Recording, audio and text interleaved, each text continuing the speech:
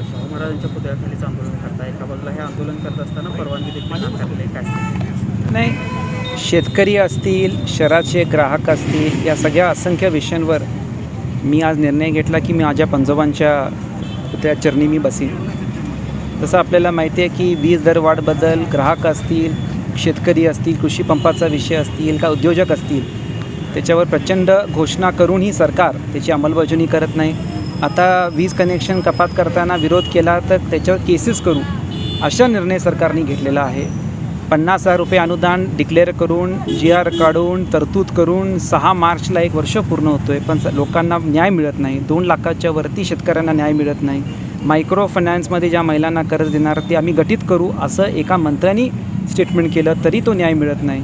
अवकाळी पावसाचं नुकसान झालं त्याची तुम्ही जी आर काढला पण त्याचे अजून पंचनामे नाहीत. अशा असंख्य विषयावर मी निर्णय घेतला की आज मी स्वतः उपोषणला बसणार. कुणाला मी आवाहन नाही केलं आहे कुणाला निमंत्रण नाही दिले आणि त्याच्यामुळे मी निर्णय घेतला. काल मला कलेक्टर ऑफिसहून पत्र आलं की तुम्ही उपोषण करू नका अशी विनंती कलेक्टर साहेबांनी केली. पोलीस खात्यातून एक पत्र आलं की तुम्हाला परवानगी नाकारली आहे पण ज्या बेसिसवर त्यांनी परवानगी नाकारली क्लॉज नंबर फोर जो मुद्दा आहे कलेक्टरांच्या ऑर्डर्सप्रमाणे त्याच्याप्रमाणे मी काल रात्री उत्तर पण दिलं की त्याच्यामध्ये स्पष्टपणे लिहिलं आहे की बंदित जागेवर तुम्ही कार्यक्रम घेतला तर पन्नास टक्के कपॅसिटी आणि खुल्या जागेवर सहा सहा फूटची जागा पाहिजे.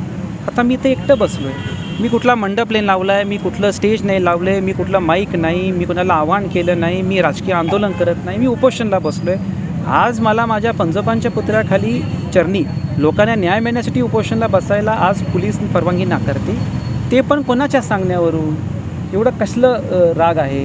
त्याच्यापेक्षा महत्त्वाचं मोठमोठ्या मंत्र्यांचे स्वागतचे समारंभ क- राजकीय पक्षाचे नरिमन पॉईंटला ट्रॅक्टर रॅल्या होत नरिमन पॉईंटला ट्रॅक्टर रॅल्या होतात. याच्यावर काही कारवाई होत नाही. फक्त मी एकटा आज इथं उपोषणला बसतो आहे त्याच्यावर एवढं सुडाचं राजकारण करून शेतकऱ्यांसाठी महाराष्ट्रासाठी मी बसतो आहे कुठलं पक्ष गटतट न बघता बसतो आहे आणि ह्याच्यावर त्याच्यामुळे मी काल पोलिसला पत्र दिलं. काय त्यांना केसेस करायचे ते करू देत. पण शेतक महाराष्ट्राच्या ग्राहक आणि शेतकऱ्यांच्या न्यायासाठी मी लढणार. पण याच्या मागं कोण आहे असं वाटतं तुम्हाला? याच्यावर काय मला आता काय बोलायचं नाही आहे. तुम्ही सगळी हुशार आहात तुम्ही त्याच्यावर शोध करा. पण अशी परवानगी नाकारायचा काही संबंधच येत नव्हता जेव्हा मी एकटं बसलो आहे माझ्या आसपास कोण बसलं पण नाही आहे मग अशा गोष्टीला का परवानगी नाकारतात हे आता असं काय वाटतं की बाबा याच्या मागं कोण असू शकतं किंवा काय पॉलिटिक्स असू शकतात? मला त्याच्यावर काय बोलायचं नाही. मला आता महाराष्ट्राला न्याय मिळवून द्यायचा आहे. या भूमिकेतच मी आज बसलो इथं.